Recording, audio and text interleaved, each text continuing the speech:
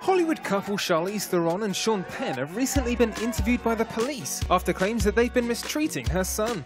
Charlize adopted her son Jackson a while ago, and Sean is now the father figure for the little tyke. However, while they were recently having a picnic in the park, a hiker overheard a lot of noise coming from their blanket. The person walked over to inspect and decided to start filming the incident. Naturally, the celebs are used to fans with cameras, but this time Charlize apparently asked the hiker to stay away from them.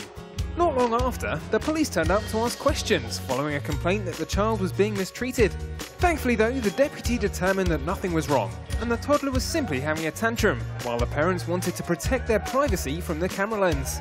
In previous interviews, Charlize has gushed over her son, and has never previously shown any foul play. So this seems to be a case of a bored hiker trying to spice up their day.